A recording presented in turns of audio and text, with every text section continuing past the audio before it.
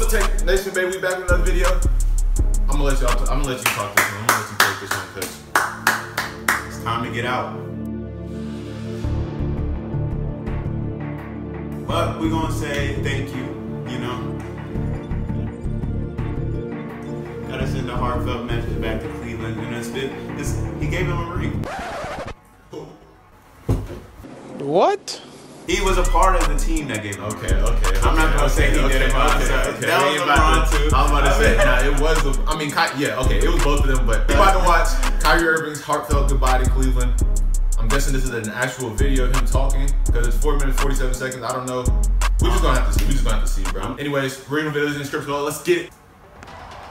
They got chilled at Golden State. Hey, That's wild. that gets that gets the uh the viewers. That's crazy. Oh, Everyone was- hold on, hold on. First, first of all, I, I'm telling Come let me bro. talk about this. I really don't like the move to cut the beard, bro. what is this? like, I don't even know who this player is, bro. They don't even look like.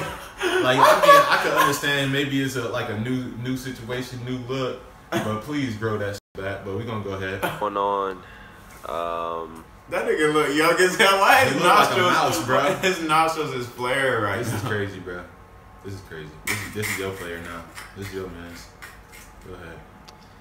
man, uh, it's hard to make videos like this because Why you you think he's understand smiling? He's the he's magnitude smiling. of Oh, um, decisions that you make in your life can affect a lot of people um, all at once.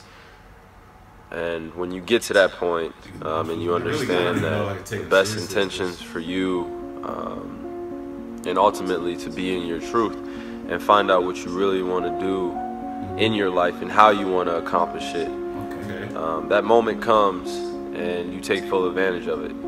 And there are no don't know. Hold on. I just would like to say he he talking like he made a free agent decision, like he ain't just get traded or for and asked for a trade. But we're gonna keep on going. I feel like other ulterior reasons other than being happy and wanting to be somewhere where um, you feel like it's an environment that's conducive for you maximizing your potential uh, as a human being and as a player perfecting the That's a good craft. I put a lot of hours in um, and and a lot of work into just trying to accomplish things that I have dreamt of as a kid, and it's right there. That's what I'm talking about. He he got the mentality to be the best. He want to be the best, and he feel like he can't the do it under LeBron. He wants to be on his own team.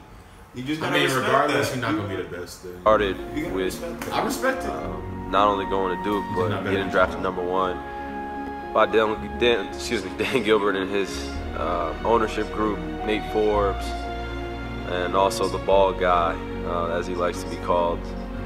Um, then their families and uh, Nick Gilbert actually put in the, uh, the draft call, which is awesome because I ended up meeting him at the draft lottery. Um, and they took a chance on a 19 year old kid that was coming off a, a stubbed right toe, um, of being in a. in a very, very uh, immature place at the time. Because, I mean, what 19 year old doesn't um, take their time and make decisions? But He said stuff. uh, man, I grew up.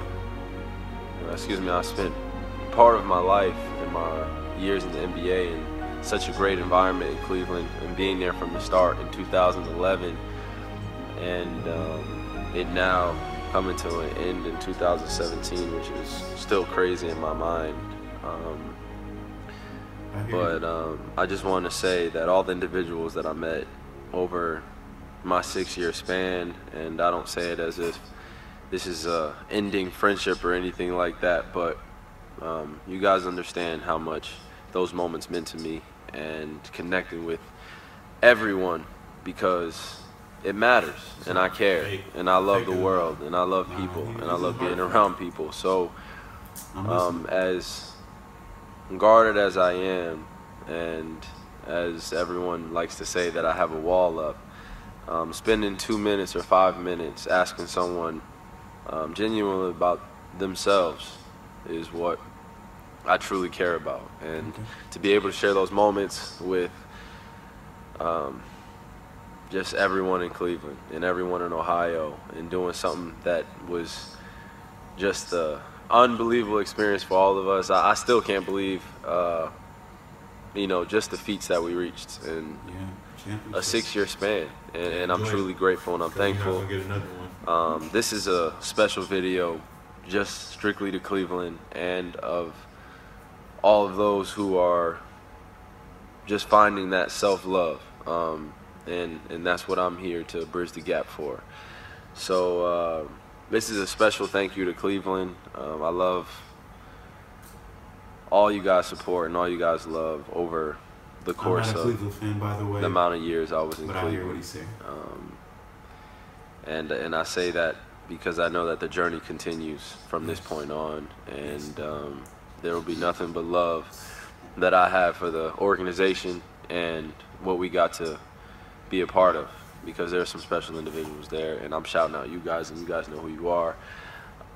And to my teammates, crazy stories, crazy experiences.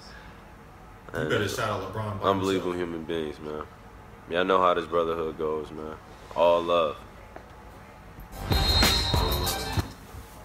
You. It's all love. I don't even want to talk about him no more. I just want to see what he gonna do. I'm, I'm just gonna. I ain't even. I ain't. Hey, mark my words. Kyrie will average 27, 28. 27, 28, you know. And I'm going to give it seven or eight assists. Is that gonna be better than 25 and 11? The record going to be. That's true. That right. She sippin' one wet and yeah, I swear it get her wetter. My Louboutins news on my bottom stays redder. No, I'm not on ride, but I'm all up on my cheddar.